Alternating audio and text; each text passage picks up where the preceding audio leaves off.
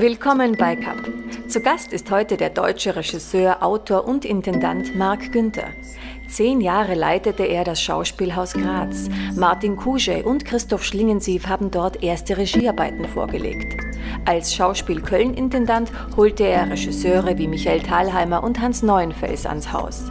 Birgit vom Cup-Team ist heute unser Kapitän und spricht mit Marc Günther über die Zukunft der großen Bühnen, alternative Theaterformen und warum Nachwuchsförderung nicht nur im Fußball wichtig ist. Hallo nach Frankfurt. Marc. Ich grüße dich. Guten Tag. Herzlich willkommen bei Cup. Ja, mich freut es, dass ihr mich eingeladen habt. Ja, danke sehr an deine Stelle, du. Äh, in der Intro haben wir dich kurz vorgestellt. Ähm, äh, du blickst zurück auf viele Jahre Theater in Österreich und in Deutschland warst du Intendant. Ja. Kommen wir gleich zu unserem Thema. Äh, wenn wir jetzt in der Pandemie sind, hören wir, dass viele Theater im wahrsten Sinne des Wortes Raum verlieren und ähm, sozusagen ähm, ja, manchmal umfunktioniert werden. Auch äh, die renommierte Häuser wie das Globe Theatre in London äh, stößt an finanzielle Limite. Aber finanzieren ist ja nicht nur zu Pandemiezeit eine Herausforderung. Wie entsteht überhaupt Theater und was kostet es? ja, man muss ja ein bisschen zurückgreifen. Äh, ganz ursprünglich war Theater äh, gab es ein paar Menschen, die haben gesagt, wir spielen einen Text und verlangen Eintritt dafür, in welchem Raum auch immer, Neuberinnen auf ihrem Theaterkarren. Und äh, dann wurde, gab es gerade im deutschsprachigen Raum, und das spielt eine große Rolle, gab es die Hoftheater, wo also jeder kleine Fürst oder Graf sich ein kleines Theater eingerichtet hat und hat das finanziert. Nach den bürgerlichen Revolutionen haben die das nicht mehr wollen und können. Und dann hat die öffentliche Hand das übernommen. Und äh, na, du weißt, Burgtheater ist ja von äh, Josef dem Ersten, der eigentlich äh, Josef, Franz Josef II. war, äh, nämlich deutscher König und dann österreichischer Kaiser, als deutsches Nationaltheater eingerichtet worden. Aber wie gesagt, der österreichische Staat hat das dann freundlicherweise übernommen, nachdem es die Monarchie nicht mehr gab. Das heißt, diese immensen Kosten, die den Fürstenhöfen wahrscheinlich schnurz waren, hat dann das Bürgertum übernommen. Durch Eintritte hat sich das nie finanziert, weil die Kosten eines Theaters mit festen Schauspielern, festen Bühnenbildnern, festen Technikern, die Gebäudeerhaltung und so weiter bis heute die Hauptkosten sind die künstlerischen Kosten sind ein kleiner, kleiner Prozentsatz äh, dieser, äh, dieser Sachen. Und das äh, beschreibt das Schöne daran, das gibt es nämlich fast nur im deutschsprachigen Raum. Und es beschreibt auch das Problem. Das Problem ist, dass tatsächlich äh, die Eigenwirtschaftlichkeit der Theater tendenziell immer mehr sinkt. Das liegt an mehreren Dingen. Äh, zu dem einen sind, dass sich sehr viele Leute diese Eintrittspreise gar nicht mehr leisten können. Ich war letztens im Burgtheater letzte Woche, vorletzte Woche genauer gesagt, im Akademietheater und habe für eine normale Vorstellung 60 Euro Eintritt bezahlt. Ich frage mich, wer kann das noch? Und selbst jetzt ist es so, dass das Burgtheater, wie ich weiß, äh, nicht gerade auf Rosen gebettet ist im Gegensatz zu früher. Auch da sind ganz starke Sparmaßnahmen da. Das Problem ist, dass diese Theater teilweise Angestelltenzahlen von mehreren hundert haben. Das sieht man immer nicht. Man sieht vier, fünf Schauspieler auf der Bühne, wenn man Glück hat, zehn. Dahinter stecken Maskenbildner, Kostümbildner, Techniker, Fahrer, die die Dekoration rein und rausfahren müssen, Garderobenpersonal, ein großer Wasserkopf an Verwaltung und so weiter und so weiter. Die wollen alle jeden Monatsersten oder, oder am 15. in Österreich wollen die halt ihr Geld haben und ihre Brötchen kaufen. Äh, die Eintrittsgelder spielen, selbst wenn sie so hoch sind, wie sie im Moment sind, eine sehr geringe Rolle. Zudem kommt es, dass im Moment in modernen Theatern der Produktionsdruck erhöht ist. Hat man noch vor 30 Jahren gesagt, naja, man hat so, naja, 15 Produktionen im Jahr acht im Großen und sieben im Kleinen, ist dadurch, dass die, der Anteil an der Bevölkerung, die das Theater besuchen, immer geringer wird. Und das liegt nicht nur an den Preisen, das liegt auch daran, dass das ein, das Medium als äh, sehr bürgerlich gilt, das ist nicht schnell zu konsumieren wie das Kino, äh, das ja auch schon seine Probleme hat, äh, siehe Streaming-Dienste, sagen wir mal, einer relativ kleinen Schicht von Informierten nur noch, nur noch genutzt wird. Ne? Also wir haben noch zu Kaiser Josefs Zeiten im Burgtheater jeder, der es konnte und eine Karte überhaupt ergattern konnte, hin ist, weil das auch jeweils eine, jede Vorstellung ein gesellschaftliches Ereignis ist. Oder gehen wir zurück zu Shakespeare-Zeiten, ne? War das Globetheater? Ja, oder so. Das war die, genau. das war die öffentliche Kommunikation. Also wenn man sieht, das war das Social Media äh, der Renaissance. Ähm, ist das jetzt doch nur noch für eine kleine Schicht. Diese kleine Schicht würde zuschauermäßig, zahlenmäßig die Theater ja nicht mehr füllen, weil wenn du nur noch 15 Produktionen in der Spielzeit machst, äh, haben selbst die Interessiertesten, ne, kein Mensch geht 15 Mal im Theater, jedenfalls der relativ normal ist, ne, äh, das gesehen, was sie sehen wollten und das war's dann. Also muss man, haben die Theater vor boah, etlichen Jahren angefangen, immer mehr, immer mehr zu produzieren. Wir kennen das von Goethe, wer vieles bringt, wird manchem etwas bringen, um A, andere Zuschauerschichten zu bilden und B, durch eine höhere Diversität das Wort ist heute heutzutage etwas besetzt, ich meine es aber im ursprünglichen Sinne, ähm, äh, mehr Zuschauer äh, durch mehr Stücke anzulocken. Das heißt, man versucht, die wenigen, wenigeren Zuschauer, die man hat, äh, öfters ins Theater zu bringen durch äh, eine größere Vielfalt der Programme, der Programmierung. Das funktioniert zum Teil auch, hat aber auch seine natürlichen Grenzen. Das Ganze, wie gesagt, fügt führt, das ist ja sehr der, das eine Problem. Das zweite Problem bei diesen Theatern ist natürlich, dass wir Produktionsstrukturen haben, die toll sind, luxuriös sind, wo man aber die Gesellschaft und teilweise die Städte sich fragen, ob sie sich das überhaupt noch leisten wollen. Wie gesagt, die Kommunen, die Staaten sind, wenn es eben nicht mehr so massentauglich ist, rentiert sich dieses viele, viele Geld, das man hineinsteckt noch. Und äh, das führt zu extremen Sparmaßnahmen. Also ich weiß zum Beispiel, dass das Theater in Köln, nur mal als Beispiel, weil ich da die Zahlen ungefähr genau weiß, noch in den frühen 80er Jahren äh, zwischen 50 und 60 festangestellten Schauspielern hatte. Äh, und dazu kamen einige Gäste. Ich glaube, es hat jetzt inzwischen noch 21, 22 festangestellte Schauspieler plus Gäste. Äh, bei dem Burgtheater wird man ähnliche Reduktion. Ich glaube, die haben jetzt noch 60 äh, Schauspieler, das weiß ich nicht. Aber die hatten mal weit über 100 Feste plus Gäste. Äh, das bedeutet eine ganz starke Reduktion innerhalb des Künstlerischen. Aber die Kosten für den Unterhalt der Häuser, für die Betreuung der Häuser, die sind eher gestiegen. Das heißt, die Schere läuft so, dass das Eigentliche, was man auf der Bühne sieht, die Schauspieler, die Bühnenbilder, äh, die Kostüme, äh, dass der eben vom Gesamtkuchen, den die Theater bekommt, obwohl der sehr groß ist nach wie vor, eigentlich nur der geringste Teil zu sehen ist. Man hat mal versucht im Jahre, ich glaube Anfang der 90er Jahre, hat das Kultusministerium in Baden-Württemberg mal sich überlegt, ob es das Stadttheater in Freiburg schließt weil die selbst für Theater sehr, damals sehr äh, rote Zahlen geschrieben haben. Und ob das überhaupt notwendig wäre, weil da liegt, auf der einen Seite liegt Straßburg, auf der anderen Seite liegt Basel. Und dann kann man ein paar freie Gruppen finanzieren und dann geht das schon. Man hat nur rausbekommen, dass die Schließung kaum Geldersparnis bringt äh, der, äh, für die Kommune, weil die Folgekosten noch über 10 bis 15 Jahre fast genauso hoch wären diese, allein die Häuser zu unterhalten und zu verwalten, äh, wie ohne Schauspieler und also ohne sind Sänger. sind wir dann eigentlich schon bei Immobilien und Architektur, nicht? Äh, das ja, ist ja eigentlich genau. ein Dilemma und eine, ja. eine Spirale. Wie kommt man da ja. raus? Das Problem ist so, äh, viele Leute, die inzwischen über Theaterneubauten oder Neustrukturierungen der Theater nachdenken, in den Kommunen oder in der Kunst, das sind einerseits äh, viele Leute, die sozusagen A, entweder den repräsentativen Theaterbau nach wie vor toll und wichtig finden.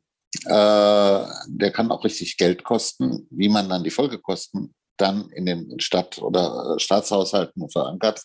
Darüber macht man sich dann wenig Gedanken. Ich kann das an ein paar Beispielen gleich exemplifizieren. Äh, die andere Seite ist, dass es natürlich auch starke Kräfte gibt, vor allem bei den Linken, die sagen, das ist sowieso alles bürgerliche Kunst für Eliten. Äh, das können wir ganz viel billiger machen, weil wir dann, sagen wir mal, Stadtteilkunst, freie Gruppen mit wesentlich weniger Geld finanzieren können. Es gibt also Modelle Holland oder sowas. Also wir machen das produktionsbezogen.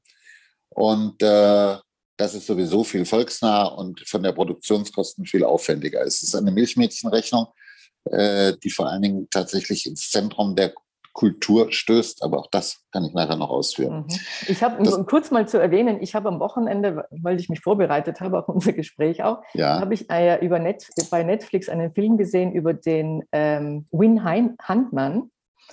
Äh, und der hat seinerzeit, ich glaube, das war in Anfang der 60er Jahren, auch nach einem Ort gesucht, wo er Theater machen kann in New York City und ja. äh, ist sozusagen in eine Kirche gekommen, damals äh, eine Gegend in der 46th Street, da ist er überhaupt gar ja. keiner hingekommen, weil das war nicht das Zentrum und hat, äh, wenn keine Gottesdienste stattgefunden hat, äh, hat in dieser Kirche Theater gemacht. Also es gibt immer Wege. Äh, vielleicht. Es gibt äh, immer Wege, Theater zu machen, weil das Schöne ist, du Theater brauchst du eigentlich nur ein paar Bretter äh, ein paar Podeste und das kannst du auf den Marktplatz stellen. Das ist wieder Mittelalter.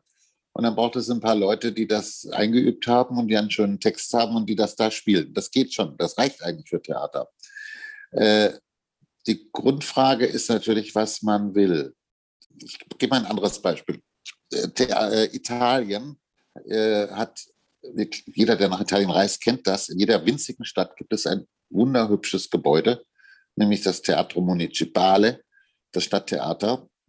Und dieses wunderhübsche Gebäude, und das gibt man sogar in kleinen Orten wie Sarzana, Rovareto oder wie sie alle heißen mögen, überall steht ein Theater, weil die Theaterkultur kommt tatsächlich ja ganz ursprünglich. Das Vaterland ist Italien, jedenfalls unsere neuzeitliche Theaterkultur. Äh, diese Theater sind fast alle nicht mehr bespielt. Sie sind alle zu.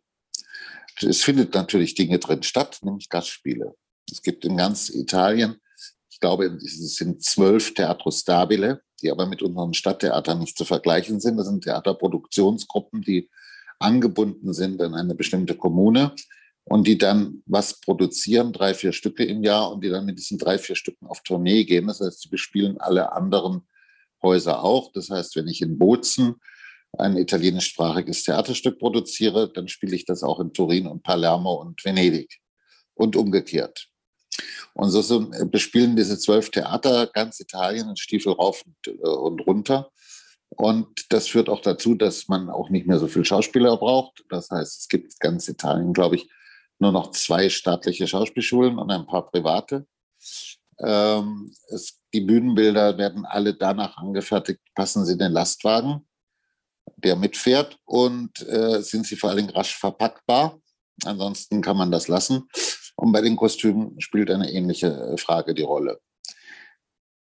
Das ist eingeleitet worden durch Mussolini, der äh, das irgendwie auch Quatsch fand, diese ganzen Stadttheater, und der erstmal einen Großteil dieser Stadttheater eingestampft hat und äh, ist fortgeführt worden durch Spaßmaßnahmen mit einem weiteren Höhepunkt Berlu unter Berlusconi, der, glaube ich, 30 Prozent äh, eine allgemeine Kürzung der Stadttheater um nochmal, nochmals 30 Prozent gemacht hat, sodass selbst diese Teatro Stabile nicht überleben konnten. Und man hat stattdessen in Festivals und in äh, kleine Gruppen, kleine Events äh, entsprechend etwas mehr Geld hineingetan, um sozusagen in den attraktiven Zeiten, also im Sommer, wenn die Leute gerne in Freilichttheater gehen oder sowas, also hier den, den äh, Anspruch von einer Kulturnation noch zu erhalten. Das Problem ist damit, dass man natürlich die gesamte Kultur ausdünnt. Ich kann das mit dem Fußball vergleichen. Ähm, wenn ich tolle Mannschaften habe, wie Juventus Turin, Bayern München, äh, Benfica Lissabon, die nähern sich natürlich aus kleineren Vereinen, die bis runter in die Dörfer gehen, aus sehr vielen Schulen, die man jetzt aufgemacht hat, für Jugendliche, die sich für Fußball interessieren. Also von nichts kommt nichts. Wenn ich so noch große Vereine habe und Leute einkaufe, werden mir bald die Leute fehlen, die sozusagen äh, aus einer großen Masse zu einer Elite äh, zusammenwachsen, in denen ich dann tatsächlich Fußball sehen kann, wie ich mhm. es genieße, wenn ich eben Bayern München, Benfica Lissabon oder Juventus Turin, ähm, Chelsea, ich will jetzt nicht alle nennen, äh, äh, ansehen will. Ähnlich ist es bei Theater. Mhm. Das, das Deutsch, deutsche oder äh, Theater, beziehungsweise das äh, Theater im deutschsprachigen Raum ernährt sich und ist deswegen qualitativ so hochwertig davon, dass es so viele Theater gibt, dass ich in Ingolstadt anfangen kann, um, wenn ich mich richtig, wenn ich Glück habe und auch noch richtig, richtig gut bin, dann zum Schluss im Hamburg-Theater wiederfinde und so weiter. Äh, wenn diese Kette unterbrochen wird, mhm. dann habe ich dieses Theater nicht mehr. Die Frage ist, brauche ich das? Will ich das haben? Bin ich nicht auch damit zufrieden, dass ich sozusagen mit einem Dilettantentheater, wir wissen, Dilettare heißt erfreuen, also mit einem Liebhabertheater, komme ich damit nicht auch zurecht. Es ist nicht auch schön, wenn äh, äh, Frau Müller und ihre Tochter äh, äh im Shakespeare mitspielen und das auch noch ganz nett machen. Brauche ich das? Will ich das? Will ich diese Form von Theater noch? Will ich diese Hochkultur überhaupt mehr leisten als Gesellschaft oder nicht? Das sind ja erstmal die Grundfragen, die davon ausgehen. Wenn man diese Frage bejaht, ich will mir das leisten, dann muss man natürlich trotzdem anfangen, darüber nachzudenken, wie kriege ich diese Dinge schlanker. Und darüber denken, wie ich schon eingangs sagte, nicht, die Leute nicht gut genug nach. Ich kann zum Beispiel Frankfurt sagen. In Frankfurt äh, wird behauptet, ähnlich wie das in Köln war zu meiner Zeit, dass die Theater eigentlich nicht mehr spielbereit sind, technisch veraltet, äh, dass man sie entweder sehr kostenaufwendig renovieren müsste oder gar abreißen und äh, Neubau ist ja scheinbar immer billiger, neu aufbauen müsste und so weiter. Ähm, in Frankfurt gibt es die Diskussion, dass man dann zum Beispiel ähm, das Schauspielhaus und die Oper, die jetzt noch zusammenliegen, ähnlich wie in Köln, örtlich, räumlich, ähm, zumindest in benachbarten Gebäuden, dann entzerrt und an verschiedenen Orten wieder aufbaut. Es gab einen Architekturwettbewerb oder einen Anfang eines Wettbewerbs, war auch ja, ausgestellt im Deutschen genau. Architekturmuseum. Ne? Aber noch mit keinem Ergebnis, nicht, oder? Es gibt bis jetzt äh, nur Ablehnungen. Also es gab eine Initiative in Frankfurt, da sagte man ja, hinter den Fassaden des Neubaus der Oper sind noch die Fassaden des alten Schauspielhauses erhalten. Wäre doch reizend, man würde das Schauspielhaus dahin tun, in die Oper sonst wohin. Ähm, weil dann hätte man diese alte Fassade wieder, also ein bestimmter mhm. Romantizismus, was Architektur betrifft. Okay, aber du äh, wolltest das, eigentlich über Strukturen reden, nicht über neue ja, genau. Konzepte. Genau. Ja. Ich sage ja mal ein einfaches Beispiel. Äh, man ist in den Theatern dazu übergegangen, weil man länger probt als früher, dass man äh, die Proben im Haus behalten hat und dafür Werkstätten, die ja dann immer zu klein sind. Das kennt man, wenn man kocht. Die Küche ist grundsätzlich zu klein, eine kleine Kombüse ist zu klein. Hat man eine ganz große Küche, ist sie auch sofort zu klein. Und so ähnlich ist das bei Theatern und den Werkstätten auch. Die sind immer zu klein. Und vor allen Dingen sind sie deswegen auch zu klein, weil, wie eingangs gesagt, immer mehr Stücke produziert werden. Jetzt hat man angefangen, diese Werkstätten meistens in die, auf die grüne Wiese in die Vorstadt zu verlegen. Siehe Köln, wo die Werkstätten neu gebaut sind, Ossendorf, Graz auch übrigens, wo die Werkstätten weit außerhalb sind. Das hat Vorteile, weil die Werkstätten da schön neu gebaut werden können, groß dimensioniert, meistens nie, immer nie ausreichend, dann auch nicht. Den Nachteil, dass ich die Bedienung der Häuser selber mit Dekoration, Ausstattung ungeheuer kompliziert ist, weil mir die Lagerräume für die vollständige Dekoration, selbst für die laufenden, fehlen. Das heißt, ich muss eine Vorstellung im Theater aufbauen. Ich spiele sie. Will ich weiter Repertoire spielen und nicht en bloc, muss ich die täglich abbauen, das neue Ding aufbauen. Das muss ich immer rankarren, wegfahren. Ich kann wahrscheinlich höchstens ein, zwei, maximal drei Ausstattungen im Haus selber aufbewahren. Äh, solange ich dieses Abo-System habe, wie es ist, dass ich also möglichst abwechslungsreich habe und nicht drei Tage hintereinander dasselbe Stück spiele, solange ich das so will, kostet das durch diese Konstruktion ein Schweinegeld. Also müsste man es wieder bündeln. es gibt die Möglichkeit, dass man zum En-Bloc-Spielen kommt. Beim En-Bloc-Spielen hat man natürlich Angst, dass, einem die, dass man die Häuser nicht voll bekommt dadurch, weil dann jeder sagt, ach, das spielt jetzt die ganze Woche und noch eine Woche drauf und dann irgendwann gehe ich da rein und dann ist es weg. Man ist nicht reingegangen oder so. Und man kann sein Abosystem mit Dienstags Blau und Mittwoch Grün nicht erhalten durch so ein System. Man müsste die Leute umgewöhnen. Dennoch die andere Sache ist, brauche ich tatsächlich diese Anzahl an Zuschauern durch die ungeheure Diversität und äh, der, der Produktion. Wenn man mit Schauspielern redet, auch von den ganz großen Häusern, stöhnen die alle, weil bei 30 Produktionen fehlt ihnen oft der Zusammenhang. Sie können oft die, treffen oft gar nicht auf Kollegen in den Produktionen. Sie wissen meistens gar nicht, was rechts und links von ihnen passiert. Sie vermissen eine Art konzeptionelle Erklärung und Zusammenhang. Das steht zwar immer gerne in den Programmbüchern, wir kümmern uns diese Spielzeit um klar irgendwas, was weiß ich, äh, Diversität in der Gesellschaft und so. Letztendlich machen das immer die Dramaturgen. Man macht vorher den Spielplan und hinterher kommen ein paar Dramaturgen und schreiben dann, was der Spielplan für einen Sinn macht. Leider ist es oft so. Umgekehrt würde natürlich ein Stiefel daraus. Und dass es nicht umgekehrt ist, äh, das vermerken sehr viele Kollegen, die an diesen Häusern mit diesen riesigen Produktionszahlen verpflichtet sind. Das heißt, auch da wäre die grundsätzliche Frage, braucht man tatsächlich, ich sage jetzt mal 250.000 verkaufte Karten im Jahr für ein Haus? Oder könnte man nicht auch mit der Hälfte leben und der Hälfte der Produktion ohne einzusparen, denn davor haben alle Intendanten Angst. Ne? Wird ihnen das Geld weggenommen, kannst du es nur in der Kunst wiederum einsparen. Ähm, also muss der Einspieldruck, der zwischen 15 und 20 Prozent inzwischen optimal liegt, weil das wird ja inzwischen gerechnet.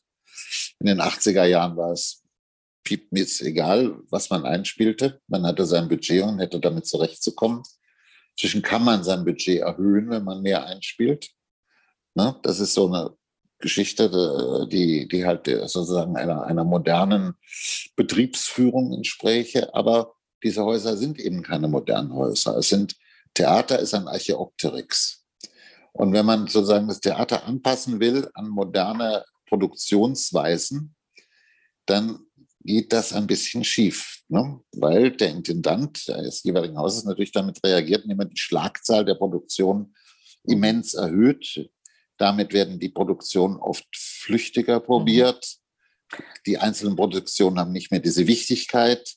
Die Schauspieler sind nicht mehr so zentral. Und so das ist sehr so interessant, was du das erwähnst, ja. gerade eben was ja. Architektur und Abläufe betrifft. Äh, ja. äh, man sieht es ja auch in, äh, gerade in der Schweiz an vielen ähm, Hotelgebäuden, die vor einem Jahrhundert entstanden sind die massive Wege haben. Und äh, wenn dann neue Hoteldirektoren kommen und sozusagen ähm, das Gebäude neu bespielen müssen, stehen genau von der gleichen Herausforderung, dass eigentlich das Funktionieren dieses Kolosses umgedacht werden muss, in moderne Systeme integriert werden muss. Ja. Also Architektur und Abläufe haben da schon also eine große, ja. Äh, ja einen großen Stellenwert ne, für ja. das Funktionieren des Ganzen. Mhm. Ja, in Köln zum Beispiel heißen die Spielstätten, zum Beispiel eine Spielstätte heißt Schlosserei. Die heißt einfach deswegen so, weil da tatsächlich mal die Schlosserei drin war. Das ist auch ein ganz hübscher Ort. Ähm, aber die Schlosserei liegt natürlich in Ossendorf inzwischen, die eigentliche. Also es zeigt einfach, dass diese ganzen, die, das, das Herausfinden der Werkstätten auch den zusammen, inneren Zusammenhang dieser Theater weil sehr viele Schauspieler sehen die Techniker nie, die ihnen das eigentlich schneidern, die das äh, herstellen, die das schweißen. Das war früher anders. Man hatte ein Zusammenleben damit. Das fand ich eigentlich immer ganz schön. In Zeiten habe ich ja auch noch erlebt äh, und auch den Umbruch. So, aber das Ganze gipfelt tatsächlich in einer inhaltlichen Frage, nämlich wie will ich, was für Theater will ich überhaupt machen und wie will ich es machen? Denn einfach, wie gesagt, der, der, der aufgedrückte Sinn durch Dramaturgien, die dafür bezahlt werden, dass sie dann eine Ideologie erfinden, die gar nicht drinsteckt.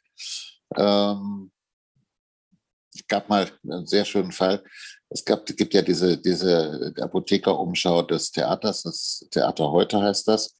Und ähm, die äh, äh, hat ja einmal im Jahr so ein Jahresheft und da wird dann immer besondere Leistungen, also Schauspieler des Jahres, Bühnenbildner des Jahres und so weiter. Und da gab es auch mal so Preise für die äh, Würdigung für die Gesamtstruktur äh, eines Spielplans. Und das hat mal irgendwie in den frühen 80er Jahren das Schauspielhaus Düsseldorf gewonnen. Da weiß ich zufällig, äh, wenn ich dann nur viele Leute kannte, ich habe da nicht gearbeitet, dass dieser Spielplan äh, aus Unfällen zustande gekommen ist. Regisseure hatten gerade, es kann passieren im Theater, es ist so, Regisseure, einer ist verunfallt, der konnte da nicht inszenieren, muss ein anderer einspringen, dann muss man das Stück ändern, weil der mit dem Stück nicht und so weiter. Das ist der ganze Spielplan zusammengekracht, das war ein Notspielplan. Äh, der Theater heute hat erkannt, dass es nun wirklich eine geniale Dramaturgie wäre. Ne? Das Ding ist sehr gut gegangen, aber es war wirklich keine Planung dahinter, sondern gerade das Gegenteil. Es war, der, war das Resultat eines äh, durch nicht Verschulden, aber wie es halt passieren kann, eines Chaoses, das ausbrach. Ne? Äh, deswegen begründen kann man hinterher alles. Schöner wäre natürlich, man würde ein bisschen, und ich finde es sehr bedauerlich, ich hab, bekomme das mit so von Freunden aus, aus, aus Häusern, die da arbeiten, äh, dass diese Pandemie, dieses Innehalten anstatt dass man gesagt hätte, ich glaube, der Kollege Ostermeier in, in Berlin hat das vorgeschlagen, aber irgendwie war das nur noch eine Zeitungsnotiz und wurde nicht wirklich drüber nachgedacht, nicht reflektiert. Diese Pandemie, dieses Innehalten zu benutzen, wirklich innezuhalten. Und anstatt in dieser Zeit furchtbare Schauspieler, Homemade-Videos zu streamen, was wirklich nicht die Aufgabe des Theaters ist, Omas, äh, anstatt jetzt in der Zeit permanent zu sagen, wir sind noch da, es geht aber dann bald weiter und so, was Quatsch war, weil alle haben letztes Jahr damit gerechnet, sie können im Herbst wieder spielen. Das war nur ganz kurz und tschüss. Ne? Ähm, also anstatt diese Zeit zu benutzen, sich hinzusetzen, sagen, stopp, wir stoppen den ganzen Laden. Und wir benutzen diese Zeit, in der wir bezahlt werden, um mal drüber nachzudenken, was machen wir da eigentlich die ganze Zeit? Ist das denn eigentlich dieses Gewerbe, das ein bisschen verkommen ist, weil ich erkläre, warum ich es für verkommen halte. Also ich bin Intendant. Ich möchte gerne verlängert werden und möchte bei, oder ein noch größeres Haus kommen. Also brauche ich Erfolg beim Feuilleton. Äh, ich möchte auch verlängert werden und Erfolg ins Haus haben, weil ich brauche die Zuschauer. Also brauche ich Erfolg bei den Zuschauerzahlen. Das Feuilleton ist nicht immer ganz einverstanden mit dem, was Zuschauerzahlen bringt und umgekehrt. Die Zuschauer kommen nicht überall dahin, wo das Feuilleton es großartig findet. Die Stadtväter wiederum urteilen nach beidem. Also hat mein Haus, bringt das, äh, dieses Haus, das wir haben, ne, dem Ruhm der Stadt, äh, äh trägt es zum Ruhm der Stadt bei oder aber und sind die Leute zufrieden. Heißt, gehen sie ins Theater. Unsere Bevölkerung, unser Publikum, sind die Theater voll, und haben ja deswegen auch einen etwas geringeren finanziellen Druck, weil die Eigen, Eigeneinspielung höher ist. Das Ganze ergibt sich dadurch, dass dann meistens ähm, ja, der Erfolgsdruck auf, verteile ich dann auf sehr viele Produktionen, siehe oben, und ich fange an, vor mich in Hand zu werkeln. Das heißt, ich versuche, die hipsten Regisseure abzufangen, äh, ich habe mal irgendwann mir äh, von der Dramaturgie ähm, von dieser Apothekerumschau Theater heute ähm, brauchten wir ein Exemplar, weil die haben manchmal Stücke abgedruckt. Und das Stück gab es irgendwie nicht in den Archiven. Da habe ich gesagt, das war mal ein Theater heute abgedruckt. Und dann kam die Dramaturgie und brachte mir ein zehn Jahre altes Heft. Und das war zufällig so ein Jahresheft von zehn Jahren. Also das, ich rede jetzt von den 90ern, also war es ein Jahresheft aus den 80ern. Da habe ich geguckt und habe gesehen, dass von diesen Pop of the Tops in den 80ern, zehn Jahre später, kaum noch einer über war. Jedenfalls nicht mehr in dieser, ne? also die Schauspielerin des Jahres war wahrscheinlich inzwischen in Erfurt und die, der Bühnenbildner des Jahres äh, hat wahrscheinlich inzwischen Kaufhausausstattung gemacht, keine Ahnung. Jedenfalls, sie waren verschwunden aus dieser Kategorie. Sehr gute Leute. Also die, die Kurzatmigkeit des, äh, äh, dieses haben sie nicht, wie ich sagte, Tucholsky, haben sie nicht was Neues für mich, was ganz Verrücktes, Perverses. Die Kurzatmigkeit äh, des Popgeschehens, äh, was ja, wie wir wissen, nicht unbedingt zur Steigerung musikalischer Unterhaltungsmusik beiträgt, ähm, äh, hat auch die Theater ergriffen. Durch das immer schneller, immer mehr, immer weiter, immer, immer schicker, immer dichter an der Zeit, immer dichter am Zeitgeschmack, wird sowas ganz gerne oft auch sehr schnell schal.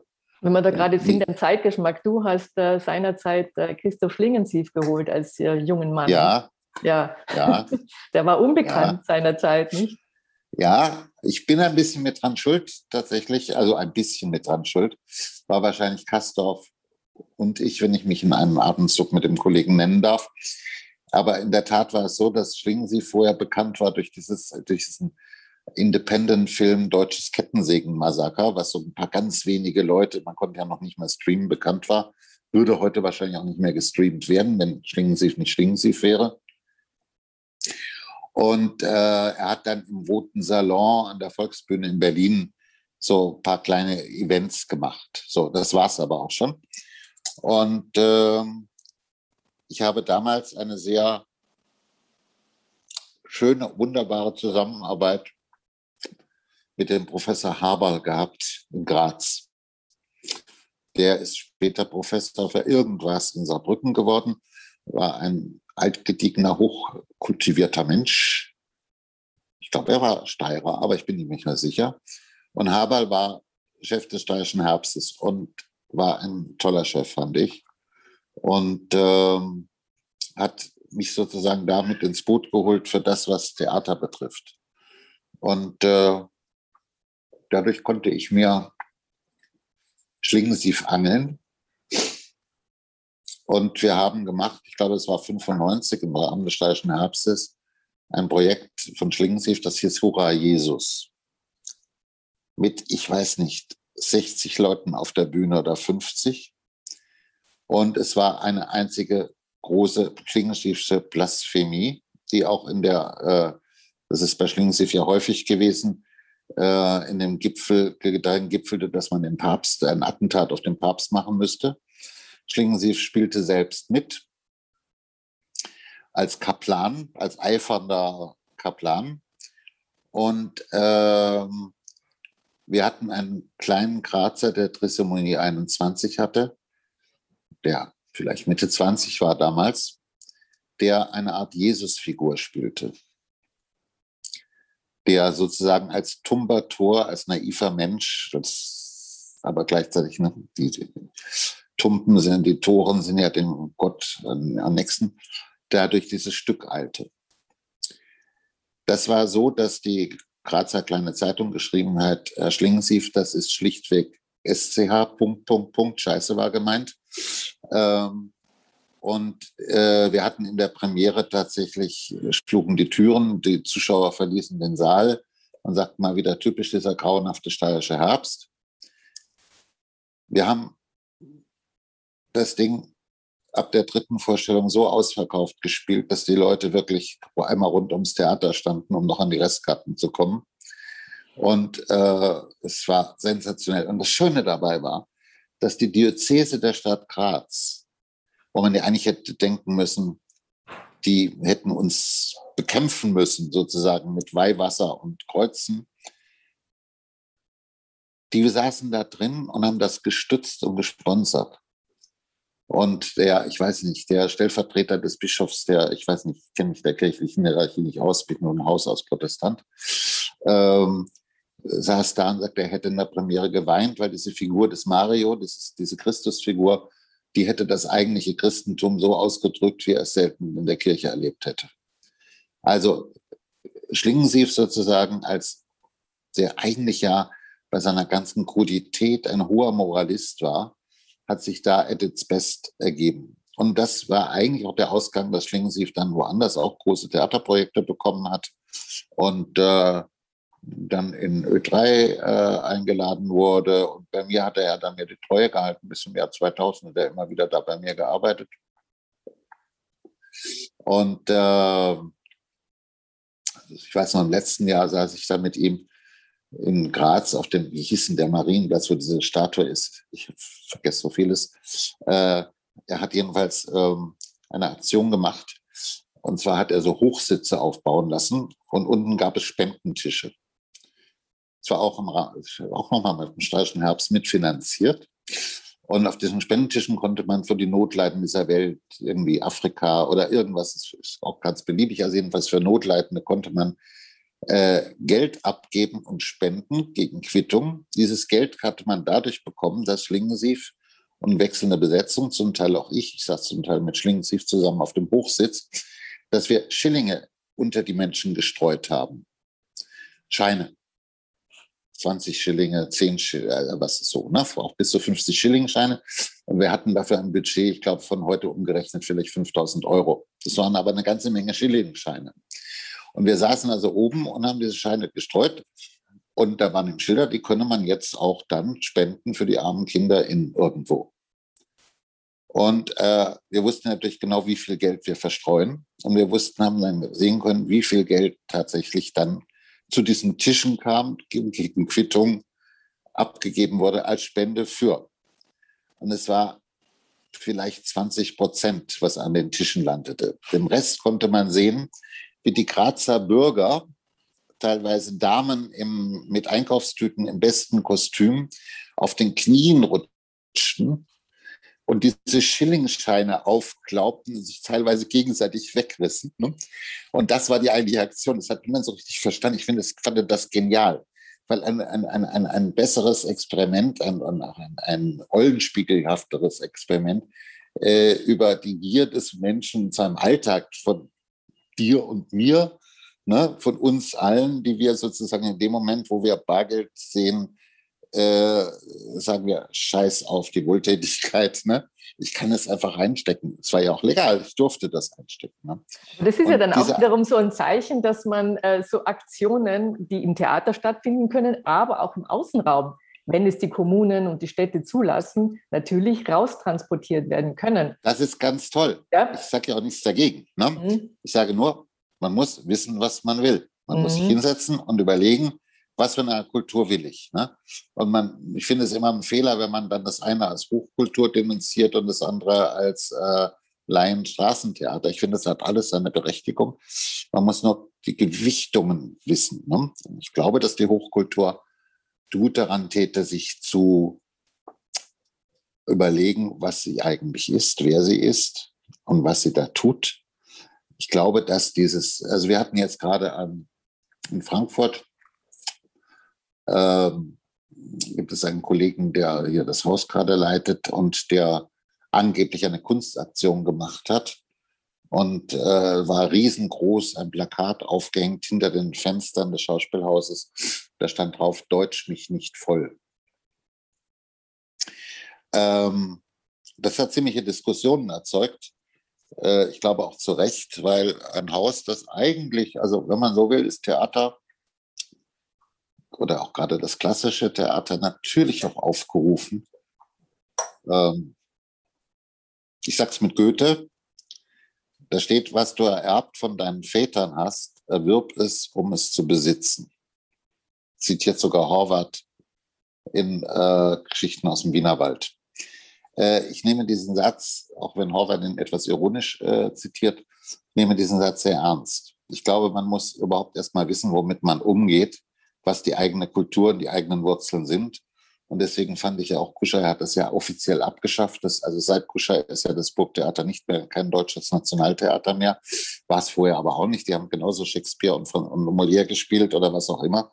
Aber ich glaube dennoch, dass äh, äh, so wie die Opernhäuser in immer neuen Interpretationen, zeitgemäßen Interpretationen, auch musikalisch, äh, immer noch Berlioz, Wagner, Verdi und äh, Schubert spielen. Ähm, Schubert weniger, aber er hat auch was geschrieben an Oper. Aber, oder hat er? Schumann meine ich. Entschuldigung, ist immer leicht zu verwechseln. Ähm, äh, haben die Theater natürlich auch nur die Verpflichtung, eine bestimmte, also eine Mischung aus Neuentwicklung von neuen Autoren, von zeitgenössischen Stücken, aber auch von Interpretationen dieser Dinge, die, an die wir erstmal rankommen müssen. äh, zu tun. Also das Neue. ich kenne, ja, ich mhm. kenne, ja. Also zu sehen, ne? also jede, ich glaube, jede Generation erfindet ihren eigenen Kleist. Mhm. Ne? Also mhm. man, man sieht das zum Beispiel gerade an der, äh, an der Geschichte, wenn ich über Kleist reden wollen, der Hammernsschlacht. Das wurde so geholt von den Nazis sozusagen als, äh, als äh, deutschnationales äh, Erweckungsstück äh, gesehen. Aber äh, es war aber gleichzeitig auch ein Stück zu Gleiszeiten. Das ging ja gegen die Franzosen und nicht gegen die Römer, ne? also äh, gegen den Nationalismus. Und es zeigt, äh, es ist ein Stück von großer psychologischer Tiefe. Und jedes, jede Generation, und dann gab es die berühmte Hermannschlacht von, von Peimann in den 80er Jahren, die ja weltweit tourte. Äh, also jede, äh, es gab sogar jetzt die von Kuschei hatte ich, ne, hatte Kuschei gemacht. Ich weiß, es ist mir auch wurscht. Jedenfalls, äh, äh, es zeigt daran, dass an guten Stücken, das sieht man auch bei Shakespeare, jede Zeit ihre Interpretation findet und äh, die Stücke ja in sich modern sind, wenn sie modern gelesen und gesehen werden und jede Zeit ihre eigene Lesart findet.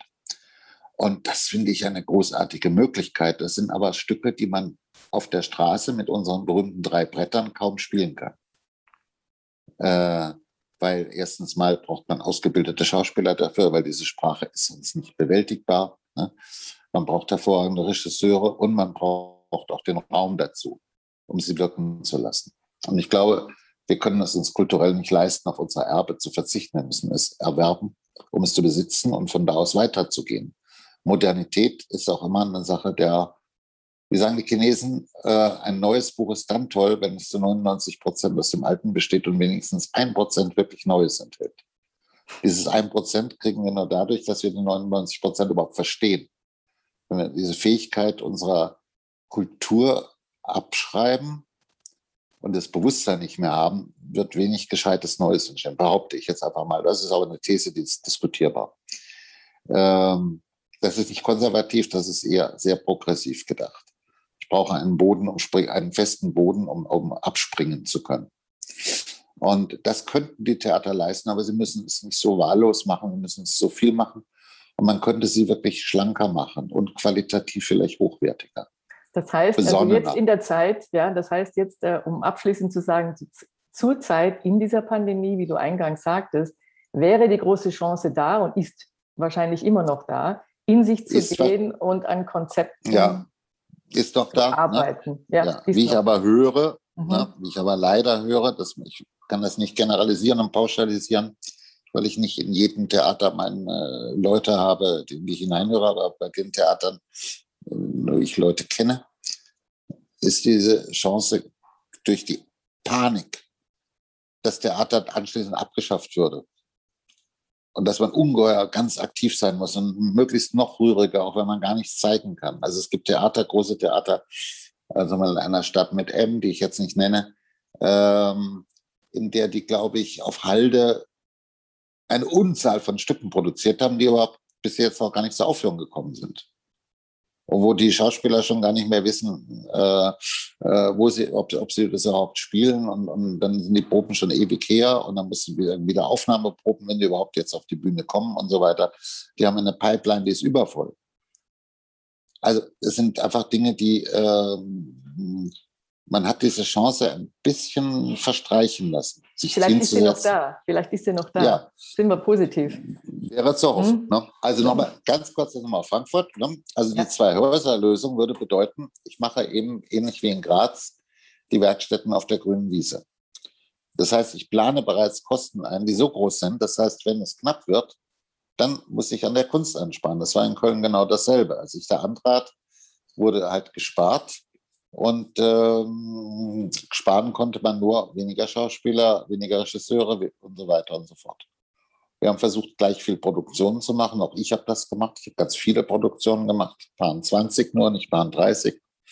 Aber ähm, äh, das hat uns letztendlich sehr geschadet, weil wir tatsächlich nur da sparen konnten. Nein eigentlich äh, müsste ein großer Think Tank her.